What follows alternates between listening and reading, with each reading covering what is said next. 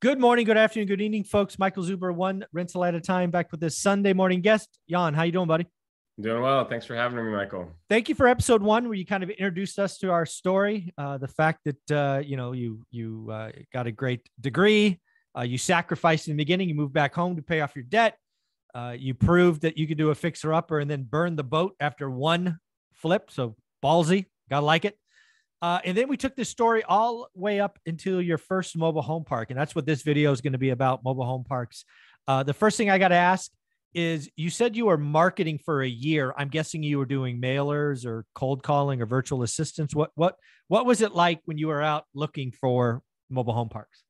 Sure. Yeah. You know, we've we've kind of tried everything off market, right? So mm-hmm. direct mail is the obvious one. Cold calling is the most obvious one because it's free, right? Mm-hmm. It just costs your time. Mm-hmm. Um, we've also done ringless voicemails. We've done text campaigns and text blasts. We've done SEO and pay per click. Mm-hmm. Um, we've done you know website intake right? And so sure yeah. we've done a little bit of everything. I would say what's most successful for us and what got us that first park it has been cold calling. So okay. there's just you have to know your target audience right? And so oh I, amen to that. One of the things uh, i have my step number one is a buy box right? Which you can call your target audience. Like you got to be focused and that's if you're a wholesaler flipper buy and hold is you got to you got to know your I don't know. I call it a buy box, right? What, what what's your target? Um, so again, let so I I always love the first story. So tell us again about the first mobile home park. Yeah, so we were cold calling for. I mean, it took I think nine to twelve months of cold calling and just just you got to just cut your teeth, right? You're not going to know what you're talking about until you do, right? Mm. And so by making the mistakes, you know, oh shit, don't say that again.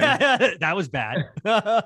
and so it just took a while of, of cold calling and, and of analysis and of due diligence to to finally land one that actually worked out. I mean, we tied one up within three months and we just fumbled completely. The seller said, I'm not working with you guys. You're not professionals. You don't own any commercial assets. Mm. And so, you know, finally we got we got a good small one to start with after nine nine to 12 months. Mm-hmm. Um, we were negotiating real hard. You know, it was 20 20 unit park, 20 space park. And so we we were at the seller wanted five 500 we got down to 450 and we're like man he's really stuck on this 500 number. Finally we got down to 450 then we drive out there for that first trip.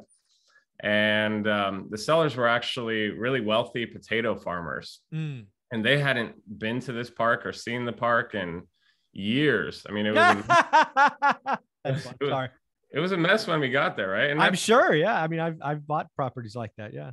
That's great. That's what we want. yeah, fun, exactly. Right. So again, they go out there. You're with them now. I actually had this on an 18 unit building one time. Uh, did they actually, did you actually get the feel that you could get a better deal at that point once they saw it? I think for showing up, you get a 10% discount. There you go. Yeah. Right. And so we're like, man, they were so stuck on this 500 number for this 20 space park and then we show up and we count the spaces. We're like dude this is a 30 space park.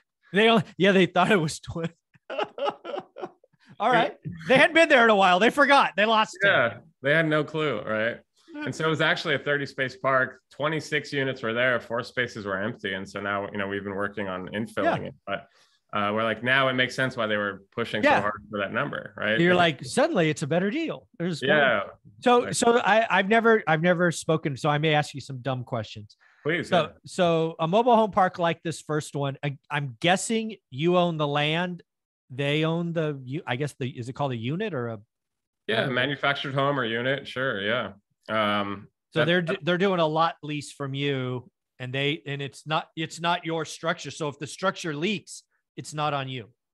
Correct. Yeah. So, as a mobile home park owner, and this is not always the case, but sure. ideally the case is where you have primarily what's called tenant owned homes, as you described. Mm-hmm. The, the folks that live in the home, they actually own the home. You can buy a you know a used manufactured home for as little as a thousand bucks and mm-hmm. as much as a new one for you know 150,000. Yeah. And so they own the home, we own the land, and we're responsible for keeping a safe community and yep. and and we're we're also responsible for the roads and the trees and and for the utilities underground but yeah. if a toilet leaks that's that's not my toilet so i don't fix it got it well, that's cool so um I, I have no idea how how big is a 30 I mean, are we talking four acres or what are we talking?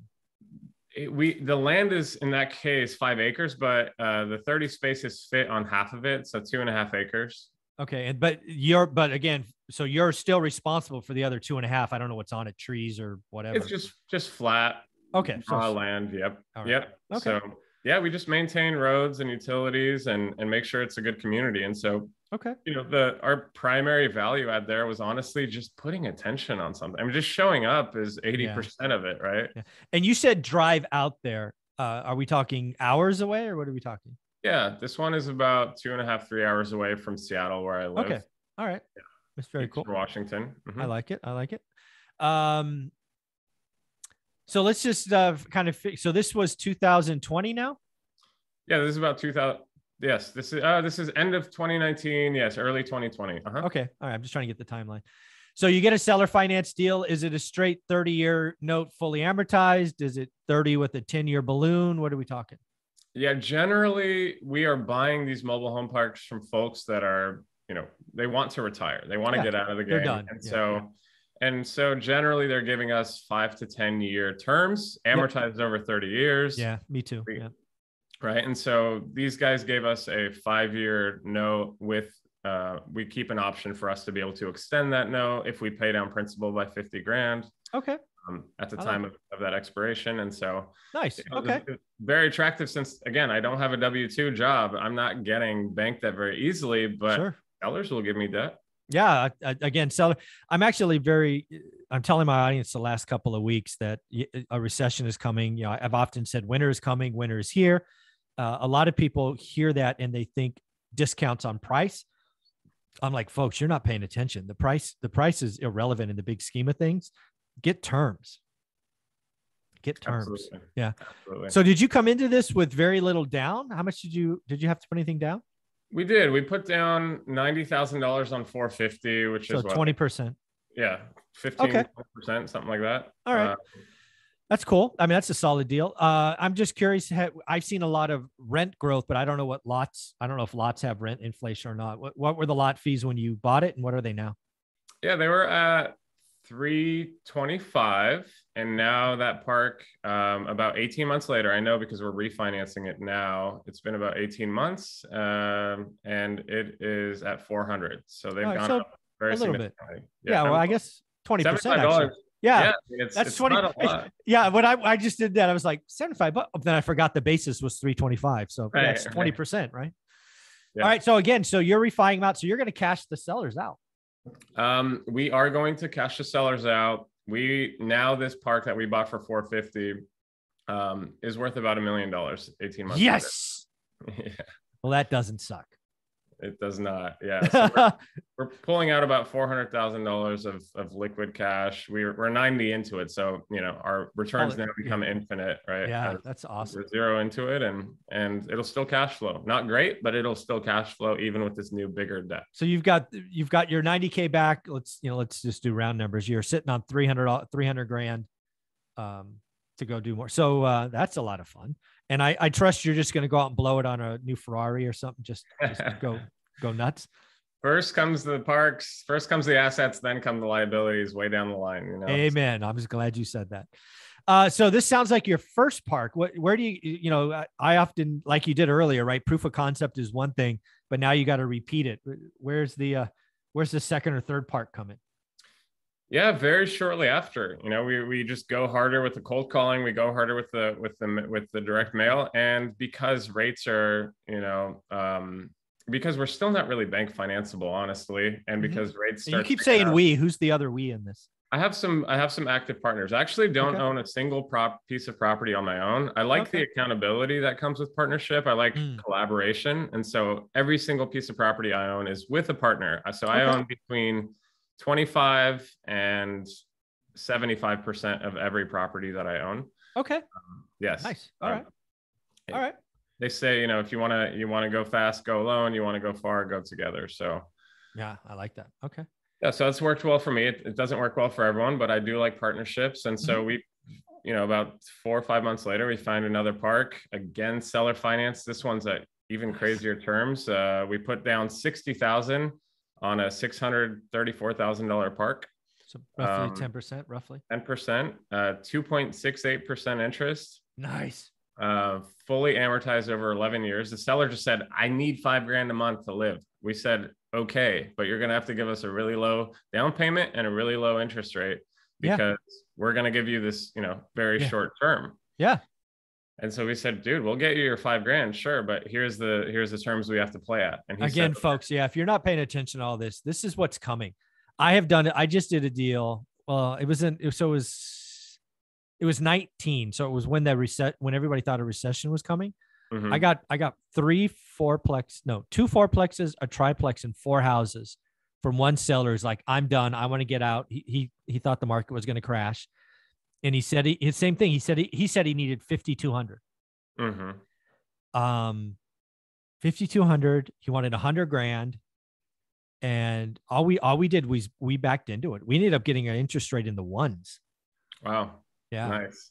but he didn't care, right? He's like, I want, I, I want the 5200 He- for whatever reason. He thought he wasn't going to live past 15 years. So the note was 15 years. Hmm. I was like, great, done. Yeah. He didn't, didn't ask any questions. He's like, he didn't care what the interest rate was. Yeah, if He's you like- listen, yeah, listen to people, right? They'll Just you what- listen. Exactly. yeah. It's Yeah. crazy. So very And Of course, you know, if this, if you're working with a young set, like, am I going to give you, you know, if you come to me, Michael, and you say, "Hey, I'm going to pay you one percent on on a million bucks," I'm like, no, because I know I can generate a higher rate of return. But if I'm retired and I'm done, and you seem sophisticated, and you seem like you're going to take over this asset and be a steward of the asset, then absolutely, I'm like, sure, Yeah. I just need my 5,200 bucks, man. Yeah, and I want to go back to your one of your one of the deals you locked up and you didn't get because I want people to hear this. When you are talking terms to a seller that is later in life, you need to put on I don't necessarily want to call it a show, but you need to realize if you act immature or like you don't know what you're going to get, they're going to back away because they're saying yes to you. Right? So you got to remember that. So again, uh, be respectful, be appreciative of the asset, do do due diligence. Don't go flying by the seat of your pants. Be a professional. And frankly, once you get one, the second one comes so much easier because now you have a point of reference going, see that one over there? Let me show you what we did to that one. We're going to take the same care of yours. So very cool. It's perfect. Just just yesterday, I had an email exchange with a with the new park we're tying up right now in Indiana, and the, the lady goes, "Look, like we'll give you the you know the million bucks, you know, at at three percent, but like give us give us a reference." And and I was happy to Yeah. Which one do you want? Yeah, yeah, I was happy to connect her with the previous sellers, and they said, "Yep, they've made every payment on time. They're professionals. They're improving the asset." That's that's all people want to hear is like All they going to do right by them, right? Yeah, because the last thing that seller in Indiana wants is to foreclose on you. Now they legally re- they legally can, but they don't want to.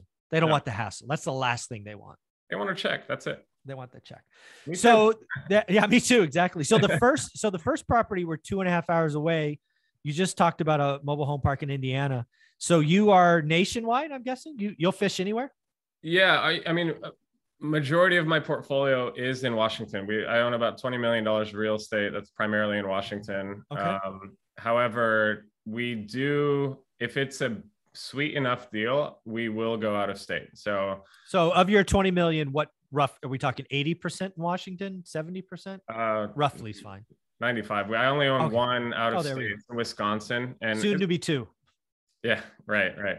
Uh, we're on we're under contract on three other parks right now that are out of state, and so yeah, you know it it we'll go. Well, I'll, I'll fly anywhere for for a great deal. It's fine, Okay. I like that. Um, but I, I know Washington's economy and, and legislation and Sure. general you know business dealings, and so it, it is easier to have some kind of continuity here. But of course, I'll I'll go anywhere for a great deal. Nice.